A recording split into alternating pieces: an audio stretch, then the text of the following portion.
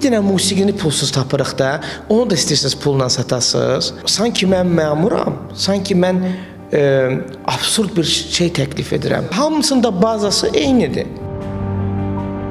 Toylarınız yoxdur, başlamısınız dilənməyə. Nə qədər məntiqsiz, nə qədər absurd bir fikirdir. Azərbaycan ərazisində Gülbadan mp3.az saytı qadağa olunur. O zaman gözəlim müğənnilərimiz klip çəkməyə, yəni yaradıcılıq göstərməyə meyl etmədilər. Biz niyə toy haqqında düşünməliyik? Yaxud kiminsə qızının, oğlunun, nəvəsinin ad günü haqqında düşünməliyik. Niyə? Musiqiçi bu barədə niyə düşünməlidir?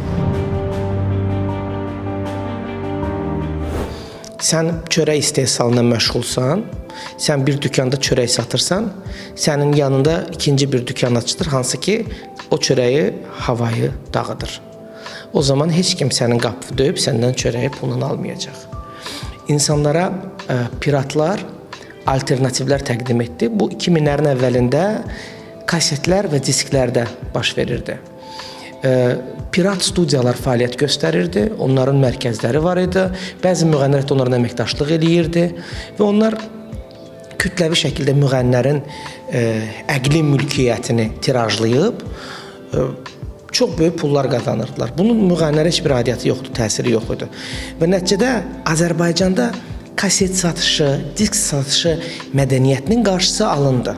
Bu inkişaf edilmədi. Bu sahə inkişaf etmədi.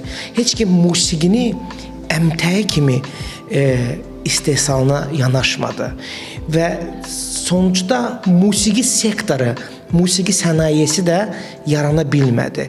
Çünki sənət adamları üçün sənətin monetizasiya etmək həvəsi yox idi. Bu para bu problemin üzərinə digər tərəfdən ə, e, telekanalların da ə, e, zövqsüz, absurd və kommersiyaya yönəlik siyasəti də gəldi və nəticədə böyük bir ölkənin bütün musiqi sənayesi çökdü. Biz hal-hazırda kütləvi bir ə, e, musiqi böhranını yaşamağa davam edirik. Sadəcə olaraq ə, mənə elə gəlir ki, bu gün bu problemi həll etmək nisbətən asandır. Əgər 2000-lərin əvvəlində həmin o pirat studiyalar hansısa insanlara, hansısa fərdlərə, hansısa məmurlara bəlkə də bağlı idisə, bu gün sadəcə olaraq bir qanunla ölkə ərazisində pirat ə, audio istehsalatının qarşısını almaq mümkündür. Sivil dünyada bayaq söylədiyim kimi disk və kaset satışının leqal forması elə bir həddə gəldi çatdı ki, orta statistik vətəndaş, Kanada vətəndaşı olsun, Norveç vətəndaşı olsun, Almaniya vətəndaşı olsun, hətta bəzən türk vətəndaşı olsun, çünki Türkiyədə də bu məsələlərə çox ciddi yanaşdılar. Onlar ə, e, həmin o musiqi daşıyıcılarını almaq mədəniyyətini yaşadılar. Və günlərin bir günü texnologiya elə bir səviyyəyə gəldi, çatdı ki, musiqi istehsalatı, musiqi əmtəsi artıq disk və kasetdə deyil, elektron formada yayılmağa başladı. Musiqi məhsulunu almaq vərdişini özündə tərbiyələndirən orta statistik sivil dünya cəmiyyətinin fərdi anladı ki, mən klik vasitəsilə sevdiyim hər hansı bir qrupu musiqi daşıyıcıma köçürə bilərəm. Azərbaycanda bu prosedur artıq bəlli bir yerdə bu zəncir qırıldığı üçün bizim vətəndaş disk və kasetlərə zaten piratlara piratlardan aldığı üçün həmin o musiqilərin pulsuz havayı internetdə yayılması onun üçün elə bil pirat musiqi almaq mədəniyyətinə daha böyük bir motivasiya verdi. Və artıq vətəndaş anlayır ki, bunu pulsuz alıram da mən. Buna pul verməzlər. Bu mövzunu qaldırırsan, sənə dönüb deyirlər ki, bir dənə musiqini pulsuz tapırıq da, onu da istəyirsiniz pulla satasınız. Sanki mən məmuram, sanki mən e, absurd bir şey təklif edirəm. Cırtdanmalı tum üçün pul verirsən, amma bütün böyük bir heyətin əməyini pulsuz istəyirsən. Mən hər şeyi anlayıram, amma ə, məntiq də yaxşı şeydir bu mövzuda. 3 manat, 4 manat verib bir disk alırdınsa, sən bu gün həmin o 3 manata, 4 manata bir ay boyunca bütün dünya musiqi bazasına istifadə imkanı qazanırsan. Bu mövzuda o qədər böyük bir maarifləndirməyə ehtiyac var. İnsan insanlar o qədər bilgisizdir, o qədər məlumatsızdır sistemin necə olmasından. Mən heç kəsi qınaya bilmərəm. Musiqini leqal dinləyərlər, musiqini keyfiyyətli dinləyərlər. Bizdə deyir, filan digital platforma yoxdur. Hələ o açılsın sonra. Nə qədər məlumatsız olmaq onda filan yoxdur, bu birisi var. O yoxdur, o birisi var. 50-dən çox 100-ə yaxın digital platforma var dünya üzərində. Və hamısında bazası eynidir. Hə, toylarınız yoxdur, başlamısınız dilənməyə. Nə qədər məntiqsiz, nə qədər absurd bir fikirdir bu. Bu mövzu ümumiyyətlə özü özündə mənə görə bir neçə agentlik, bir neçə quruma ə, gedib toxunur. Onlardan təbii ki, birincisi Müəllif Hüquqları Agentliyidir qanunvericilikdə insanların yaradıcı insanların əqli mülkiyyətinin, hüquqları, qanunları necə qorunur, onu bənd-bənd mən sizə deyə bilməyəcəm. Amma mən bilirəm ki, heç bir qanunvericilik, heç bir məcəllə oğurluq faktına bəraət qazandıra bilməz.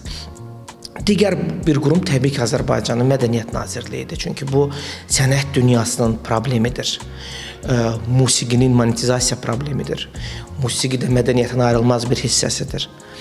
Və burada həmçinin e, texnologiyalarla bağlı nazirliyin mi deyim, qurumun mu deyim, idarənin mi deyim, ə, üzərinə düşən bir məsuliyyət var.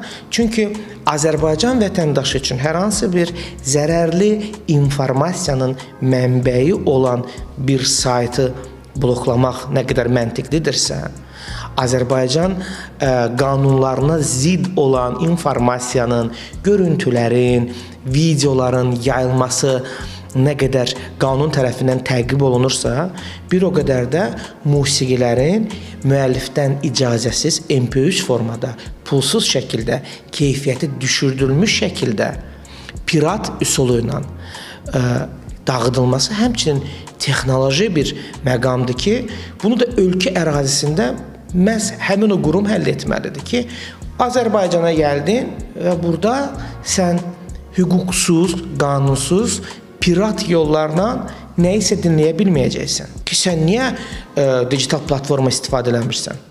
Bunu mən necə qınaya bilərəm insana? İnsanlar bunun üsulunu bilmir, insanlar bunu tanımır. İnsanlarla maarifləndirmə işləri aparılmayıbdı. Məsələnin birinci tərəfi, ikinci tərəfi isə hüquq tərəfi. Azərbaycan ərazisində Gülbadan mp3.az saytı qadağa olunur, əngəllənir.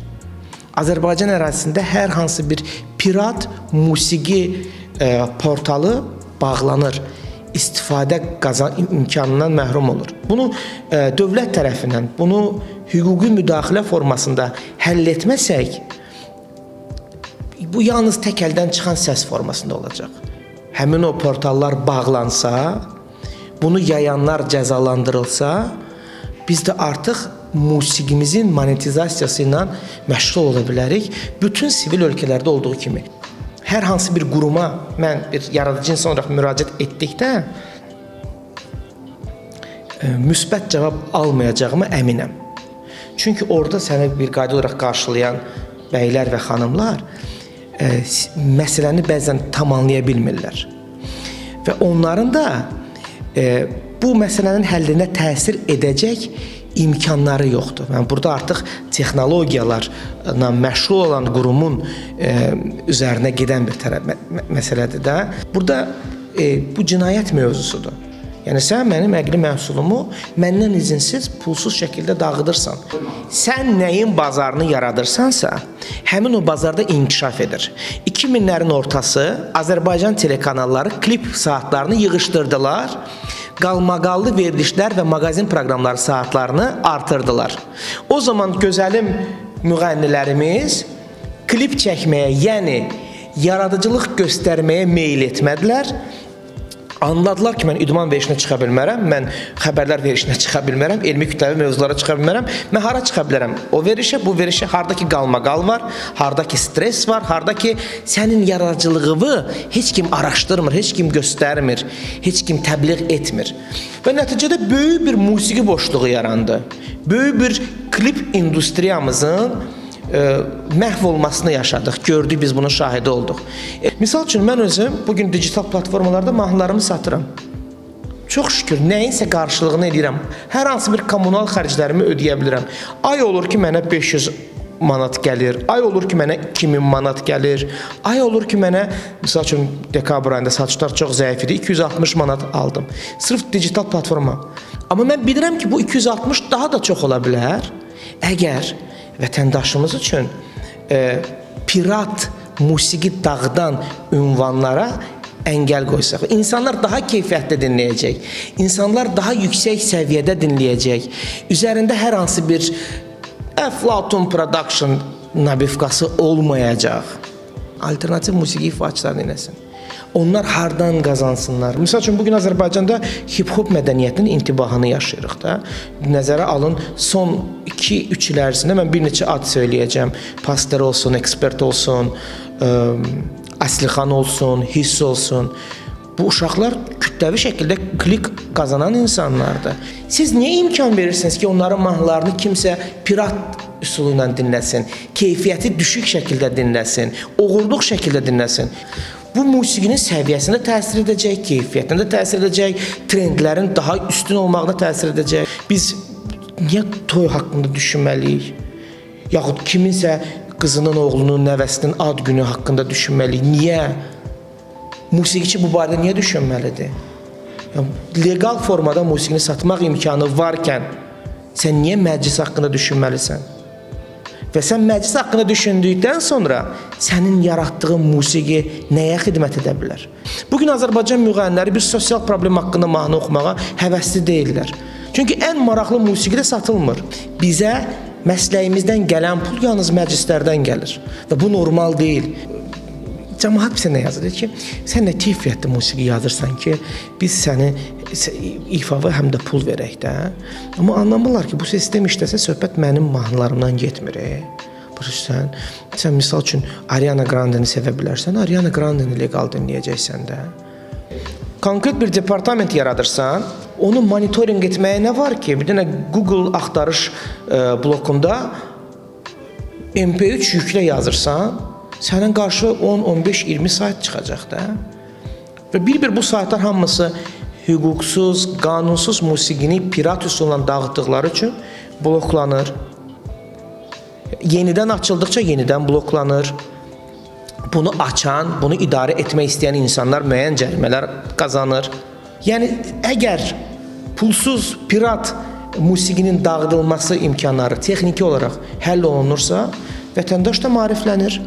Vətəndaş da artıq leqal şəkildə musiqi dinləməyə mədəniyyətini özündə tətbiq etməyə başlayır. Bu qədər.